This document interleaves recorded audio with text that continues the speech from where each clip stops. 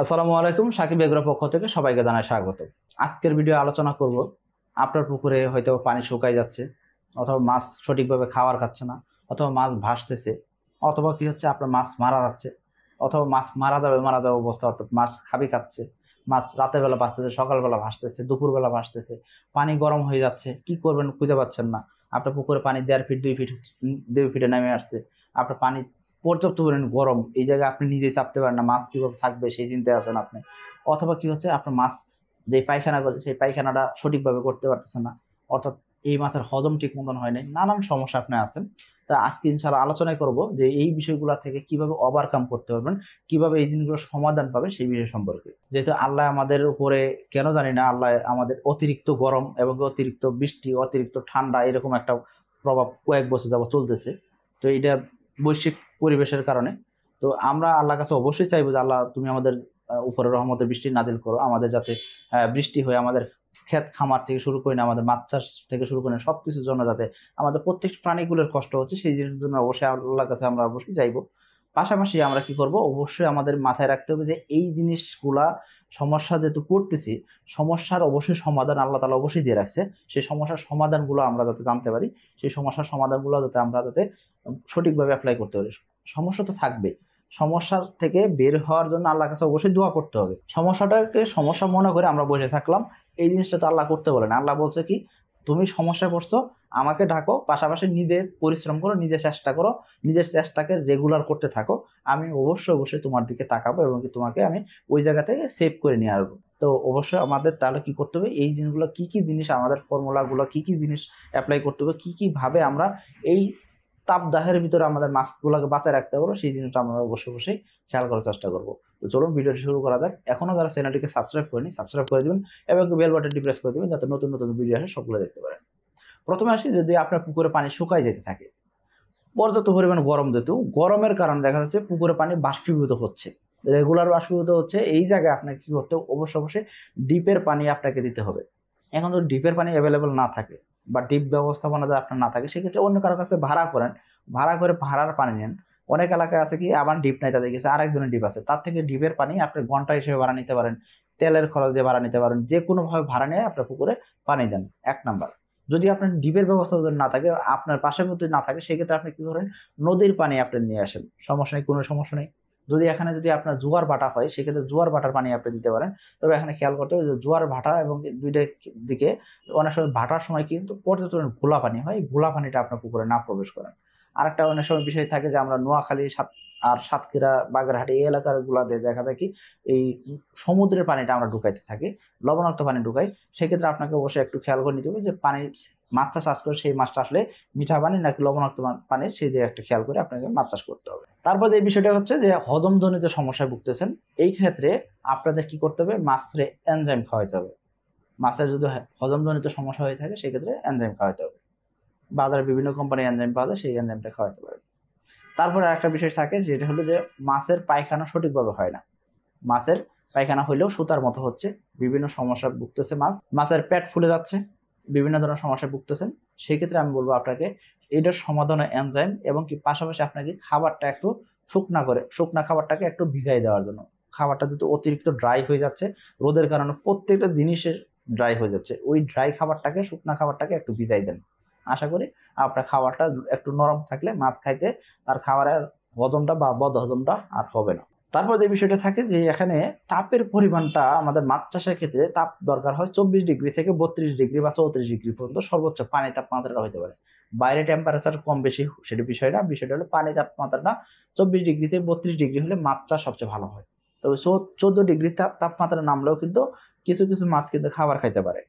আবার পঁয়ত্রিশ ডিগ্রির উপরে গেলেও কিন্তু কিছু কিছু মাছ খাবার খাইতে পারে। কিন্তু এটা তো মানে সিচুয়েশনটা তো মানে প্রতিকূল। সে অবস্থায় মাছ চাষ করা যাচ্ছে, ঠিক আছে, কিন্তু চেষ্টা করতে হবে কি, তাপের পরিমাণটা যাতে তাপমাত্রাটা যাতে মানে কমানো যায়। তাপমাত্রা কমাবেন কীভাবে তাপমাত্রা কমানোর জন্য কয়েকটা পদ্ধতি অবলম্বন করা যেতে পারে। এখন আসে যে এই কয়েকটা পদ্ধতির আগে জানতে হবে তাপমাত্রাটা হইলে কি কি সমস্যা হতে পারে। অতিরিক্ত তাপের কারণে দেখা যায় কি, মাছগুলো স্ট্রোক করে মারা যেতে পারে। এই মাছগুলোর জন্য আপনাকে কি করতে হবে, পুকুরের পানি যাতে তাপমাত্রাটা কমানো যায়, সেই দিকে খেয়াল করতে হবে। এই জন্য কি করবেন? প্রথমে যে বিষয়টা করতে পারেন সেটা হলো সেচ ব্যবস্থাপনা। মানে পুকুরে সেচ দেওয়া, যেটা আমরা বলছিলাম ডিপের পানি দিয়ে শুকানোর পা- পানি কমে যাচ্ছে, সেটা শুকানোর বিষয় বলছিলাম, যে শুকাই যাচ্ছে সেটাকে আমরা পানি দিয়ে পানির পরিমাণ বাড়াইতে বলছিলাম। সেটা একটা পদ্ধতি, অর্থাৎ আপনার সেচ দিলেন, পানি কমে গেছে, সেটা পানি দিয়ে পানিটা বাড়াইলেন। আপনার পুকুরে পানি হয়তো খুব বেশি কম হয়, কিন্তু পানি তাপমাত্রা অনেক বেশি থাকবে। সেক্ষেত্রে আপনি কি করবেন? এই ক্ষেত্রে আপনার তাপমাত্রাটা কন্ট্রোল করার জন্য আপনি কি করবেন? সেচ ব্যবস্থাপনাটি চালু করবেন। অথবা আপনার পুকুরে এয়ারোটো দিবেন। অথবা কি করবেন? পুকুরে আর্টিফিশিয়াল স্রোত তৈরি করবেন। এয়ারোটো যদি না দিতে পারেন, সেক্ষেত্রে স্রোতটা কীভাবে তৈরি করবেন? স্রোত তৈরি করার জন্য অনেক সময় দেখা যায় আমরা কি করি? নৌকা, যেটা নৌকা নৌকা দিয়ে আমরা যখন খাবার দিই, তখন দেখা যায় পানিটাকে আন্দোলিত করে দিচ্ছি। এই আন্দোলিত করার একটা ব্যবস্থা থাকতে পারে। সেক্ষেত্রে কিন্তু দেখা যায় উপরে পানি নিচে যাচ্ছে, নিচের পানি উপরে আসছে। এতে করে কি হচ্ছে? পরিচালন পদ্ধতিতে কি হচ্ছে? এই পানিগুলো নিচের পানিটা উপরে আসছে, ঠান্ডা পানিটা আবার উপরে এসে ওইটা গরম হচ্ছে আর উপরে ঠান্ডা পানিটা, গরম পানিটা নিচের দিকে মিশ্রিত হইতে আস্তে আস্তে এই জায়গায় একটা পরিবহন এবং পরিচালন পদ্ধতিতে পানিটা ঠান্ডা থাকতেছে। তো আমরা এই জিনিসগুলো অবশ্যই অবশ্যই করার চেষ্টা করব। তার এতে করে মাছের স্ট্রোক জনিত সমস্যা থেকে বেঁচে যেতে পারব। তাপমাত্রাটা কম থাকলে মানে লিমিটেড থাকলে সেক্ষেত্রে মাছের খাবারের চাহিদা বাড়বে, খাবার সঠিকভাবে খাবে এবং সঠিক গ্রোথ আসবে। তারপর যে বিষয়টা হয় যে মাছ ভাসা বা খাবি খাওয়া অথবা অক্সিজেন সংকট হওয়া, এটার কি কয়েকটা কারণে হতে পারে। মাছ ভাসতে পারে কয়েকটা কারণে। এক নম্বর কারণ কি? যদি পুকুর পানি কমে যায় পুকুর পানি কমে গেলে কি হবে? সেই জায়গায় উপরের লেয়ারে দেখা কি নর্মালি ওই সময় জুপ্লান্ডন ফাইটোপ্লান্ডনগুলো ব্লুম করে। অত্যধিক পরিমাণে জুপ্লান্ডন ফাইটোপ্লান্ডন যদি ব্লুম করে, তাদের তো অক্সিজেন দরকার হয়। সেই অক্সিজেনটা তারা ফিল আপ করে, নিয়ে নিচ্ছে, মাছের অক্সিজেন কম হচ্ছে। আর একটা দেখা যাচ্ছে কি পুকুরে তোলা দেশে সূর্য আলো পৌঁছাতে পারতেছে না, এতে করে কি হচ্ছে পুকুরে তোলা দেশে যে প্লান ফাইটোপ্লানগুলো ছিল, সেগুলো মারা যাচ্ছে। মারা যাওয়ার কারণে তাদের নিচে গ্যাস হচ্ছে। গ্যাস হলে মাছ মারা যাচ্ছে বা মাছের অক্সিজেন সংকট হচ্ছে। তারপর যে বিষয় থেকে উপরে লেয়ারে যখন আপনার জুপ্লান ফাইটোপ্লান ব্লুম করতেছে, তখন কি হয়েছে? অবশ্যই পানির পরিমাণটা কমে গেছে। পুকুরে তোলা দেশের অবস্থা খারাপ উপরে দেশের অবস্থা খারাপ। মাঝখানে যে পানিটা আছে, সেই পানিটাও কম। এই ক্ষেত্রে ওই জায়গায় দ্রবীভূত অক্সিজেনের পরিমাণটা কম থাকবে, এটাই স্বাভাবিক। এই জন্য আপনাকে কি করতে পুকুরে পানি বাড়াইতে হবে এবং কি পুকুরে নিয়মিত পানি দিতে থাকতে হবে।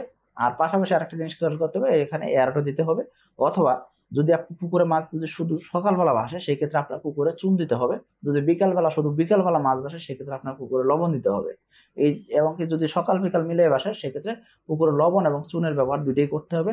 পাশাপাশি আপনাকে কি করতে হবে? বিকালবেলা এবং সকালবেলা হয় অক্সিজেন ট্যাবলেট অথবা আপনাকে এয়ারটো চালাতে হবে। এই জিনিসগুলো যদি করতে হবে না আশা করি আপনি মাছ ভাসা বা খাবি খাওয়া বা অক্সিজেন সংকট হওয়া এই জিনিসগুলো থেকে বেঁচে যেতে পারবেন। তারপর যে বিষয়টা হচ্ছে যে প্রাকৃতিক খাবার নষ্ট হয়ে যাচ্ছে, অতিরিক্ত পরিমাণ গরমের কারণে প্রাকৃতিক খাবার নষ্ট হয়ে যাচ্ছে। এতে করে আপনাকে নতুন করে বাড়তি সুষম খাবার দিতে যায় খরচ বেশি হয়ে যাচ্ছে। এক, অন্যদিকে কি হচ্ছে? প্রাকৃতিক খাবার যে নষ্ট হচ্ছে, সেই খাবারটা পুকুরে তলদেশে থাকার কারণে বিভিন্ন ধরনের টক্সিক গ্যাস বা অ্যামোনিয়া গ্যাস বা নাইট্রেট গ্যাস নাইট্রেট গ্যাস এই যে গ্যাস তৈরি হচ্ছে বা সালফার জাতীয় গ্যাস তৈরি হচ্ছে। এই গ্যাসগুলোকে আপনাকে সরাই দিতে হবে। গ্যাসগুলো সরানোর জন্য অনেকে হররা টানেন তো আমি বলব আপনাকে যদি অতিরিক্ত পরিমাণ গরম হয় এবং পানির পরিমাণ যদি কম থাকে, সেক্ষেত্রে হররা টানা যাবে না। তো আপনি হররা যদি টানেন, সেক্ষেত্রে মাছের উল্টা আরও ক্ষতি হবে। পানির পরিমাণ বাড়ানোর পরে তো আপনি আপনি হররা টানেন, কোনো সমস্যা নেই, এতে কোনো তেমন কোনো সমস্যা ফেস করবেন না।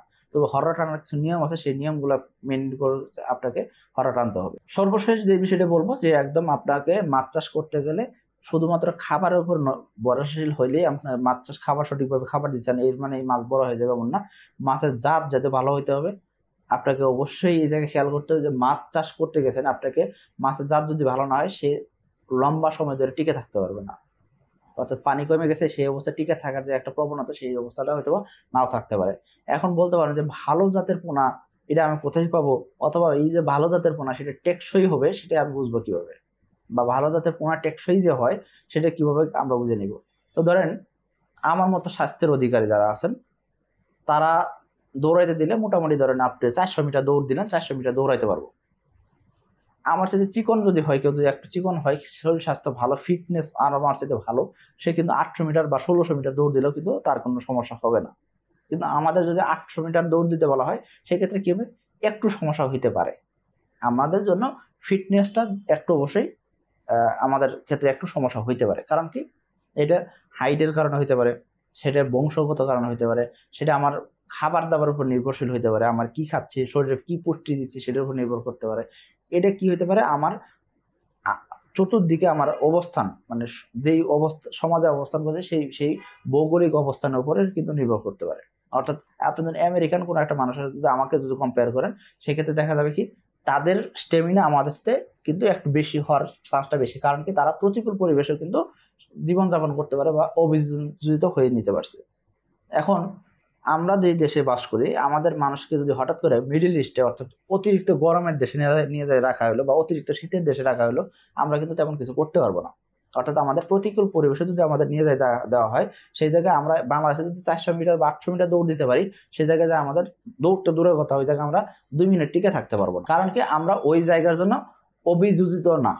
ওই জায়গার জন্য আমরা কপুইট করে উঠতে পারতেছি না, ওই জায়গার জন্য আমরা কি করতে পারি না অ্যাডজাস্ট করে উঠতে পারব না, এটা স্বাভাবিক। তো এই জন্য আপনার যে মাছটা থাকবে, সেই মাছটা যাতে জাত যাতে ভালো হয়, ওই জাতের মাছটা যাতে অত্যধিক পরিমাণ অ্যামোনিয়া হয়ে গেলে যাতে মাছ না মারা যায়। ওই মাছটা কম পানিতে যাতে টিকে থাকতে পারে। খাবার হয়তো বা এই সময় কম দিতে হবে, এটা স্বাভাবিক। পানি কমে গেছে, অ্যামোনিয়া হয়ে গেছে, বিভিন্ন সমস্যা আছে, সেক্ষেত্রে আপনাকে অবশ্যই খাবার কম দিতে হবে। কিন্তু মাছের জাতটাও ভালো হতে হবে। মাছের জাত যদি ভালো না হয়, সেক্ষেত্রে কিন্তু আপনি কিন্তু সমস্যার সম্মুখীন হতে পারেন। এই ক্ষেত্রে আমাদের যে দেশীয় যে মাছগুলো হয়, দেশি ট্যাংরা, শিং, মাগুর, এই জাতের দেশীয় মাছগুলো কিন্তু সহজে টিকে থাকতে পারে, সহজে কিন্তু মারা যায় না। কিন্তু তেলাফের ক্ষেত্রে কিন্তু স্ট্রোক করার চান্স থাকে। বিভিন্ন কোম্পানি তেলাপে চারশো গ্রাম, তিনশো গ্রাম ওজন হলেই দেখা যায় স্ট্রোক করা শুরু করে দেয়। সেই জায়গায় আমাদের যে তেলাপি এসে টাইগার মনোসেক্স তেলাপি, এই তেলাপে সাতশো আটশো গ্রাম, এক কেজি ওজন হয়ে যায়, দুই কেজি ওজন হয়ে যায়, এই তেলাপি কিন্তু স্ট্রোক করে না এবং এই তেলাপে কিন্তু অল্প পানিতেও কিন্তু মাছ চাষ করা যাচ্ছে। আপনি চাইলে অল্প পানিতে মাছ চাষ করতে পারবেন, তবে এই জায়গায় খাবারটা কম দিতে হবে। ওয়েদার যখনই ভালো হয়ে যাবে, আবহাওয়া যখনই ভালো হয়ে যাবে, পুকুরে পানি বাড়াইতে হবে। পুকুরে পানি বাড়াই দিতে পারলেই আপনার মাছ চাষে লাভবান হয়ে পারেন এই সময় পানি কমে গেছে, এই ক্ষেত্রে আপনার সেচ ব্যবস্থা রেগুলার দিতে হবে। যে যে নিয়মকানুনগুলো বললেন এই নিয়মকানুনগুলো মেনটেন করে দিতে হবে। খাবার একটু কমাই দিতে হবে, এতে করে আপনার মাছটা যাতে বেঁচে থাকে মিনিমাম যাতে বেঁচে থাকে।